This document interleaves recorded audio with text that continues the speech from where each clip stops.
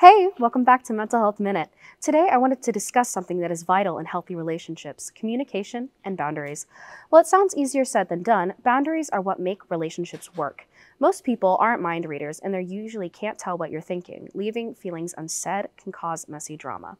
For example, maybe a friend has a habit of eating off your plate, which you may not appreciate. I like to use four steps when communicating a boundary. Step one is empathizing.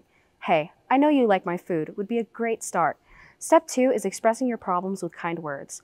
I really don't like when you take food off my plate without asking. This tells your friend exactly what you don't like without setting it up as an attack, whereas saying, I hate when you steal my food, makes it sound like you're trying to pick a fight with them. Followed up with step three, express how it makes you feel. It really made me feel frustrated.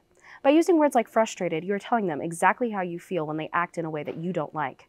Step four, finding a solution. Instead of taking my food, could you please ask beforehand? This offers a resolution to the conflict. Now, put it together. Hey friend, I know that you like my food, but I don't appreciate it when you take it off my plate without asking.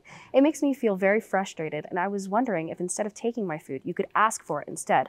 Well, how you feel is important, it is equally as important to listen to other people's boundaries as well. Thank you for tuning in to Leander's Mental Health Minute.